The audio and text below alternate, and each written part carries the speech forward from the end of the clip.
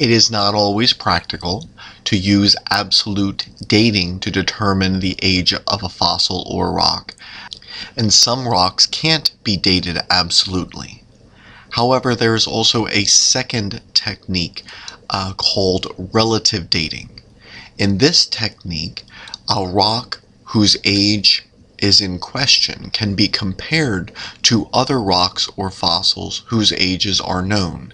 And if one compares a specific specimen uh, to other rock strata based on the fossils of shellfish that they contain, or the fossils of pollen grain from plants that they contain, or the fossils of vertebrates that they contain, or the minerals that they contain, or what apparently the temperature of the Earth was at the time, or which way magnetic north was when these rocks were formed.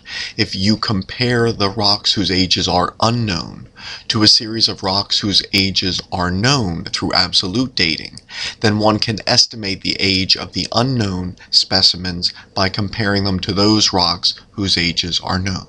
This is relative dating.